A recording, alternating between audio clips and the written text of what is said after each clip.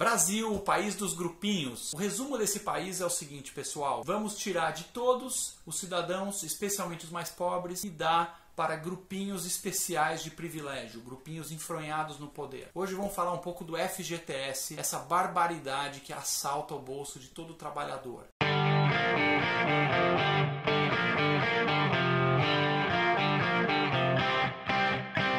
Você sabe como assalariado que todos os meses você recebe um salário e depois o empregador deposita um valor que fica travado no FGTS. E aí muita gente tem uma ilusão que não tem porra nenhuma a ver com a realidade de que você não está pagando esse dinheiro. Ah, mas é o empregador que paga. Não. Não! Não.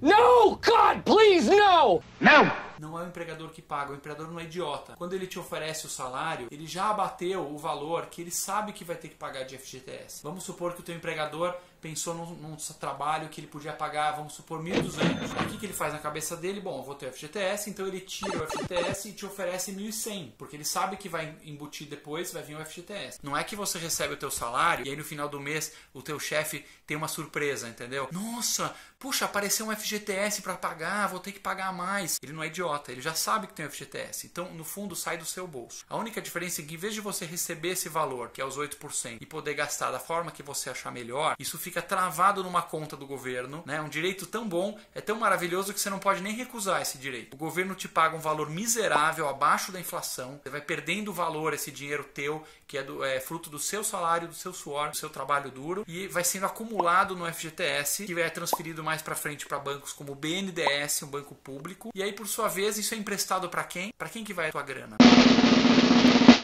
Vai para grandes grupos empresariais de amigos do poder, que recebem dinheiro barato, fruto do BNDES, empréstimos subsidiados a juros baixos. Ou seja, é o grande empresário amigo do poder, bilionário, que recebe o fruto do trabalho duro de milhões e milhões de brasileiros. Mais um exemplo de como no Brasil o país tem o dom de tirar de todo mundo, especialmente os mais pobres, e passar para grupinhos enfronhados no poder, lá os amiguinhos do poder que frequentam Brasília, que estão lá o tempo todo chafurgando para conseguir esses privilégios. O FGTS é uma barbaridade. A melhor condução seria incorporar o salário. Ninguém fala em tirar FGTS, não existe. É, isso é dinheiro do trabalhador. Mas tinha que ter uma lei dizendo: ó, a partir de agora acabou o FGTS, os 8% tem que ser pagos a mais todos os meses, incorporar no salário. E isso vai para o bolso de quem é o dono desse dinheiro, que é você, trabalhador. E aí você gasta como você achar melhor. Se quiser colocar no banco, você coloca. Se quiser comprar alguma coisa, você compra. Se quiser dar de presente para o governo, você dá. Mas a decisão é sua e não é uma imposição absurda como essa.